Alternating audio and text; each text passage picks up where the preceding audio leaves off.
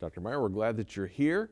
And today I want to begin with a clip from Illustra Media's beautiful documentary movie, Darwin's Dilemma, which describes the turmoil scientists experienced when they discovered that the earliest animals in the fossil record appeared abruptly without any evidence of prior ancestors. I want you to watch.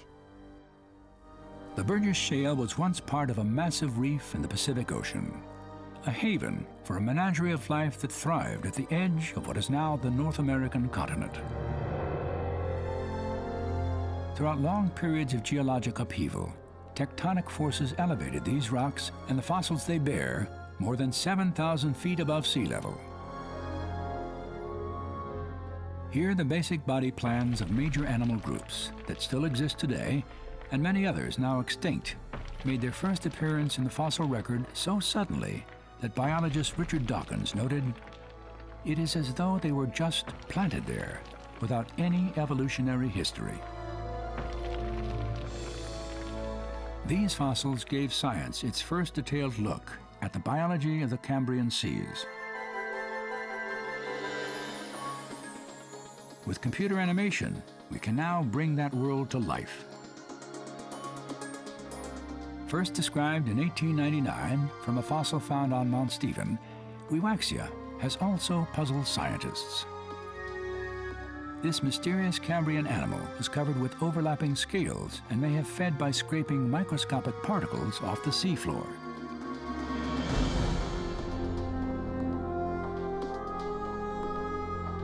The animal most frequently discovered at Walcott's quarry was Marrella. More than 15,000 fossil specimens of this prehistoric crab have been excavated, most revealing multiple pairs of jointed legs and feather-like gill branches used for swimming.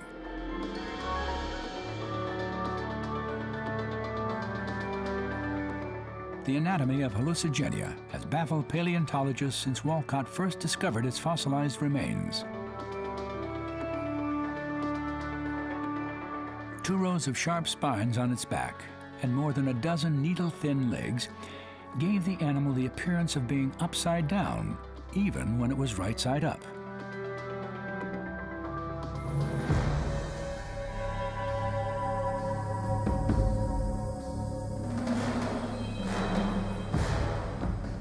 At the top of the food chain was Anomalocaris, the undisputed terror of the Cambrian seas.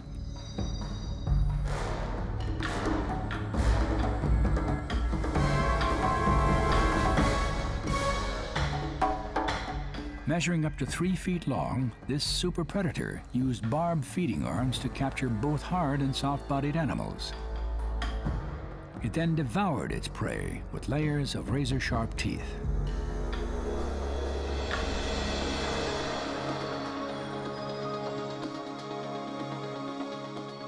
Between 1910 and 1924, Charles Walcott collected more than 60,000 Cambrian fossils, many of which are still studied in museums and research centers around the world.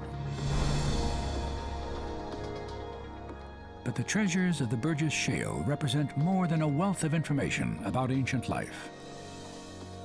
They are also flashpoints in a controversy that began long before the great geologist ever set foot in the Canadian Rockies. You know, Dr. Meyer, just looking at that uh, video clip, the animals that were found there, those fossil remains, were really well developed animals, complex animals. Why did these fossils pose such a challenge to the accepted evolutionary theory about how life originated on Earth? Well, there were two reasons that the discovery of these Cambrian animals uh, created uh, a, a, doubt for Darwin about the adequacy of his own theory, and he acknowledged this in The Origin of Species. The first reason had to do with Darwin's uh, picture of the history of life, the way he depicted life's history. We all remember from our biology textbooks, he represented the history of life as a great branching tree, and the animal tree of life would have uh, had at the top of the tree the first complex forms of animal life, and those forms would have arisen, according to Darwin's thinking, as a result of a series of, of slow, gradual transformations from uh, some common ancestral form way back in the Precambrian times.